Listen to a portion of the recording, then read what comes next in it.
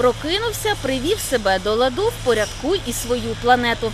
Насправді зробити це зовсім не важко. Треба бути небайдужим і активним, знайти собі однодумців, одягти рукавиці і взятися до роботи. Цього ранку до роботи взялись близько 40 мешканців п'ятничан, які чи не щодня гуляють парком та переймаються його благоустроєм. Пан Віталій розповідає, після прогулянки з дітьми виносить з території по пакету сміття. Я тут живу вже 16 років, з дитиною гуляю, з собакою кожен день гуляю. Хочеться, щоб він був чистенький.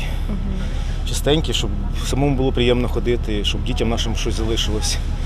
Тому ми завжди стараємося заботитися про цей парк. Востаннє парк прибирали два роки тому. За цей час встиг вирости густий підлісок. Тож хащі вздовж доріжок вирізали, сміття та листя вивезли.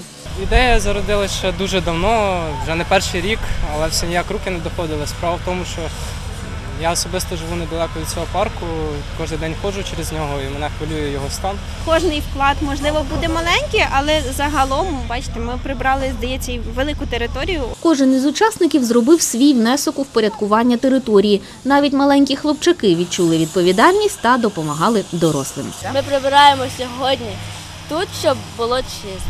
Для малечі цього дня студенти влаштували майстер-класи з виготовлення паперу з вторинної сировини.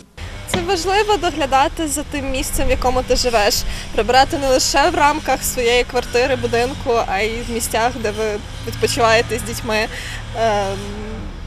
Не потрібно чекати допомоги ще від когось, потрібно проявляти ініціативу і робити перші кроки до якогось порядку. Організатори на зробленому зупинятись не збираються. кажуть, цей парк заслуговує на те, аби повернути йому первісну красу.